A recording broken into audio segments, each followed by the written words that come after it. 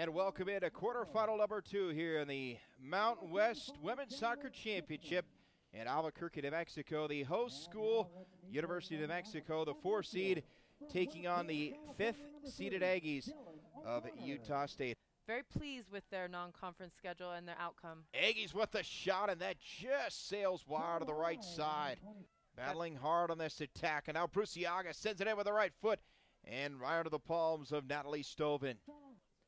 Ellis in the drive of the right foot and up in the air, and the header is just off to the right side.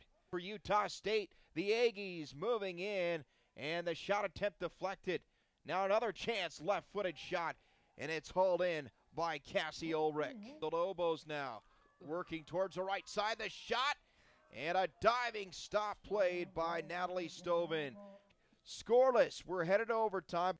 Utah State, New Mexico, a shootout to decide who will go to the semifinals. This is Dylan O'Connor for the Lobos to go up one in this shootout.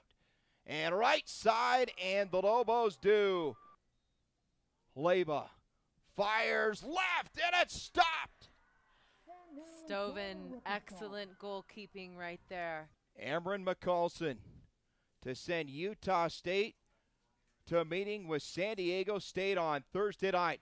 McCulson lines up, fires into the back of the net, and Utah State has won it in a shootout.